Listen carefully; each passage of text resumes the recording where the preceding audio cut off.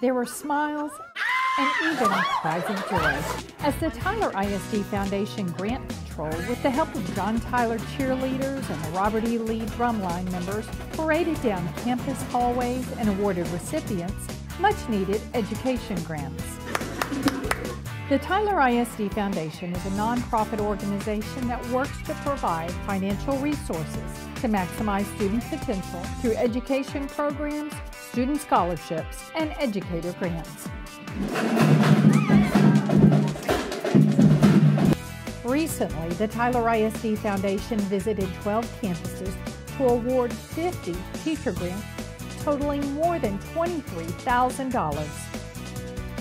We appreciate this so much. So thank you to all the donors and sponsors who have made this happen.